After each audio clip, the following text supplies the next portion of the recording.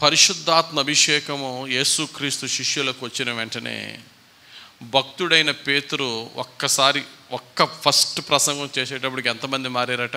మూడు వేల మంది మారారట. ఆ యొక్క ప్రసంగం యొక్క సబ్జెక్ట్ ఏంటో తెలుసా? అపోస్తుల కార్యములు రెండవ అధ్యాయం ముప్పై ఎనిమిదవ వచ్చిన మనం చూసినట్లయితే పేతురు మీరు మారు మనసు పొంది పాప క్షమాపణ నిమిత్తము ప్రతి వాడు యేసు క్రీస్తు నామమున బాప్తేస్ము పొందుడి అప్పుడు మీరు పరిశుద్ధాత్మ అను వరము పొందుదురు. మీరు మారు మనసు పొందండి అనే మాట భక్తుడైనటువంటి పేతురు చాలా స్పష్టంగా చెప్తున్నాడు. కాబట్టి దీన్ని బట్టి చూస్తే మారు మనసు అనే సబ్జెక్ట్ దేవుని వాక్యంలో ఎంత అత్యున్నతమైన ప్రాధాన్యత దేవుడిస్తున్నాడు అనేది కూడా మనం చూడొచ్చు.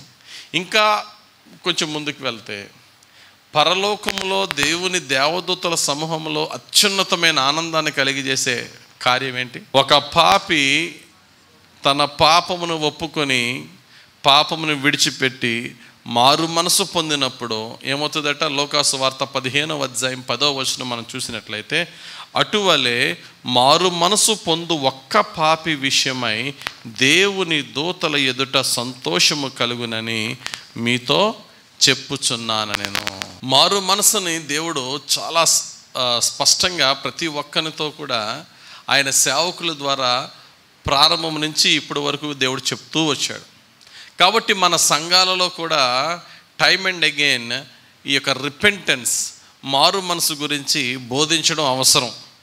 ఆ బోధ మనకి చాలా అవసరం. చాలామంది మారు మనసు ఎలా తీసుకుంటారంటే ఫార్టీ ఫైవ్ డిగ్రీస్ మారు మనసు. లేకపోతే నైంటీ డిగ్రీస్ మారు మనసు. వన్ ఎయిటీ డిగ్రీస్ అంటే కొంచెం తెలుస్తుంది కదా? ఇది ఎలా ఉందనుకోండి కొంచెం ఎలా తిరిగితే ఫార్టీ ఫైవ్ ఎలా తిరిగితే నైంటీ ఎలా తిరిగితే కంప్లీట్ బ్యాక్ తిరిగితే ఎంత? One eighty degrees. అంటే కంప్లీట్గా పాపానికి ఎలాగుంటే పాపం ఎంత కనబడుతుంది?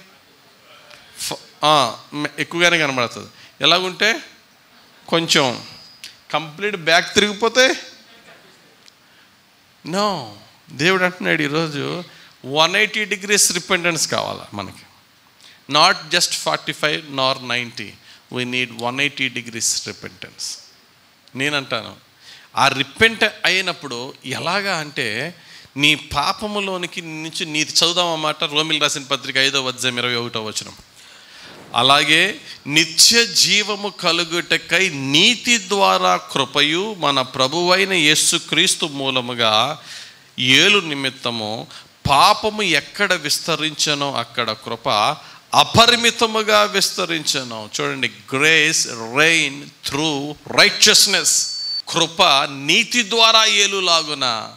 ఓ పాపి నీ పాపము నుంచి కంప్లీట్గా తిరుగు దేవుని వైపు అంటున్నాడు. నేనంటాను grace is directly proportional to repentance from your sins అంటే నీవు నీ పాపముల నుండి ఎంతగా నువ్వు పశ్చత్తాపడి మారు మనసు పొందుతావో అంతగా ప్రపోర్షనల్గా అంతగా దేవుని నుండి కృప కూడా నీ దగ్గరికి నీ జీవితంలో వస్తుంది.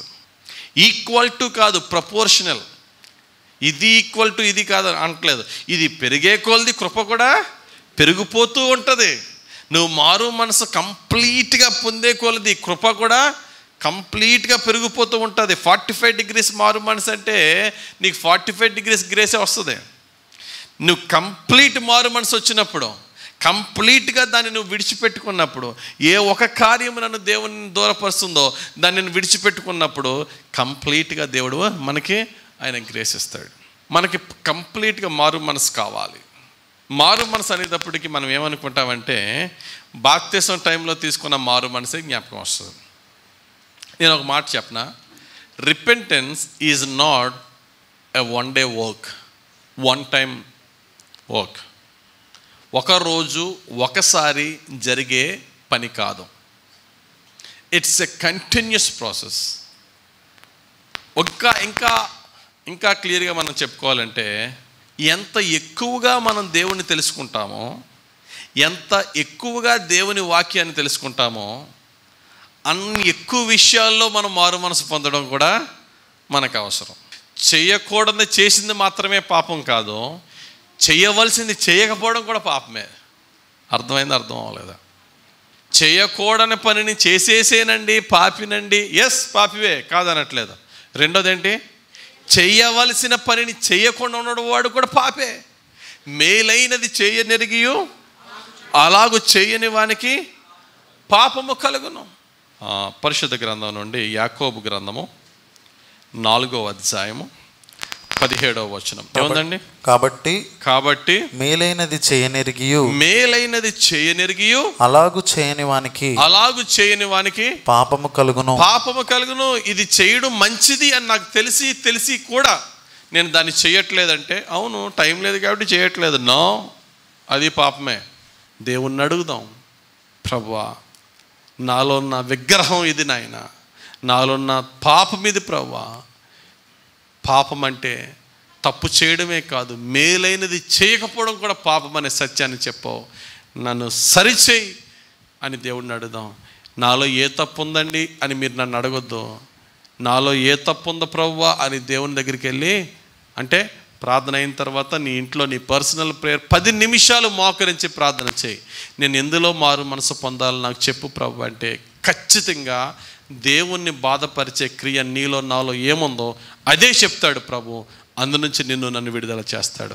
దేవుడు తన పరిశుద్ధ వాక్యం దీవించి మనందరి జీవితాల్ని ఆయన కోరిన రూపంలోనికి మారు మనసుతోనూ రూపాంతరముతోనూ పరిశుద్ధపరిచి మనను రక్షించి మనను ప్రభు యొక్క రూపములోనికి పరిశుద్ధాత్ముడు మార్చి దీవించునుగాక.